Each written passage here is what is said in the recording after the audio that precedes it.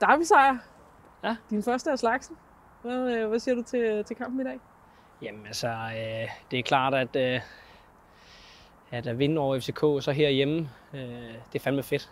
Og som øh, jeg snakkede om sidste gang, øh, øh, da vi slår Midtjylland hjemme, at det er mega godt for holdet. Øh, og lige nu der flytter vi os enormt meget som hold, og den her sejr her, den er for alle, der er med øh, omkring, også dem, der ikke er udtaget. Altså, fordi der bliver leveret godt til træning, og der bliver leveret godt til kamp, og det, det er fedt, at det så, altså, vi bærer frugt af det. Og prøv lige at sætte lidt ord på, øh, på jeres præstation, altså særligt en virkelig god første halvleg.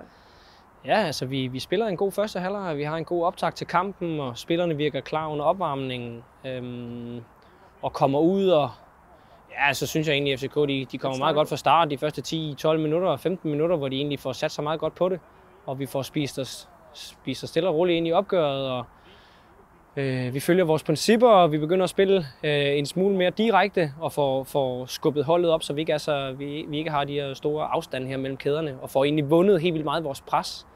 Øh, og scorer også et mål, hvor vi vinder den i forhold til det, vi har snakket om inden, at de, de meget gerne vil spille ind på deres sekser, bryder den der, og så sparker Clement den ind, og det, ah, det, er, det er perfekt. Og det åbner vel også guldkampen i U17-ligaen øh, med den her sejr.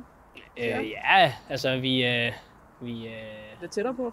Ja, det, det hjælper der at få tre point i dag imod FCK. Øh, de har jo stadig to kampe i, i hånden, men det er klart, at havde vi tabt i dag, så, øh, øh, ja, så havde det været svært.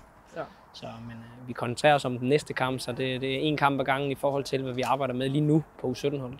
I overskrifter, hvad tager du, øh, hvad tager du primært med fra, fra den her kamp i dag? En god overskrift på en vanvittig god holdindsats. Øh, det var en fortjent sejr, synes jeg. Lad os slutte med det. Ja. Tak, Patrick. Selv tak.